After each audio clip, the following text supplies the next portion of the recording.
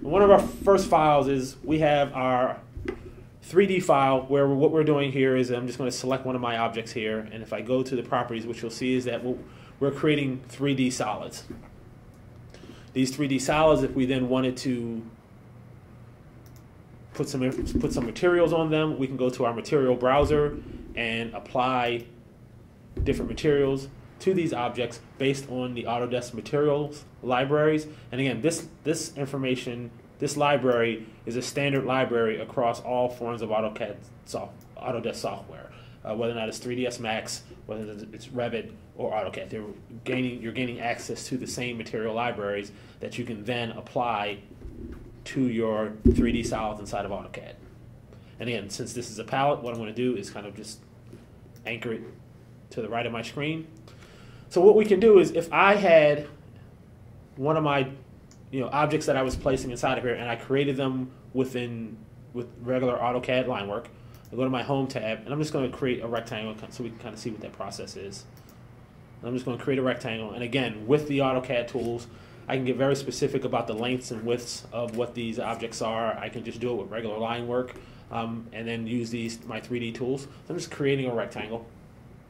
I'm going to go to my 3D tools and I can take that 2D shape, extrude it,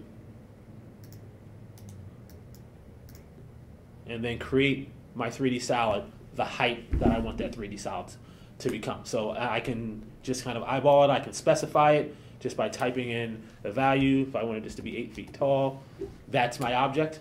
If I select this object, I want to hit escape to get out of that creation mode, select my object, go into the properties, and you can see that my z direction, my z is the eight feet that I specified. So we can get very specific with our objects. If I was going through and creating this with, with 2D line work, um, or in this case I created it with the rectangle tool, I could have specified the exact dimensions of that rectangle tool. As you can see in the other 3D objects, the other 3D solid that I have here, we've also created a voided shape in here. If I had another object, and I'm going to go back and create another rectangle,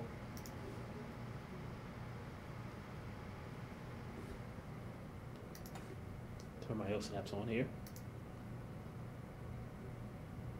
And that's my shape. I can then extrude this the same distance, go back to my 3D tools, extrude this the same distance, call that, you know, call that eight feet again. And now, be, because these tools, I want to blend these two walls, I can use tools like my union tools to blend them together so that they become one solid object. So as you can see, I can then I can take these objects and create my 3D solids with them and develop my plan into something that I can then go in and apply materials to. If I wanted it to be brick, I can set that to be brick. I can just go into my material browser.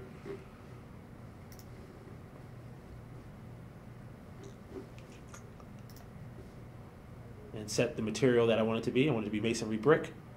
Apply that, add that to my documents. And now this, I can just come up and do my paint tools and drag the information that I have here and apply that to the materials that I have there.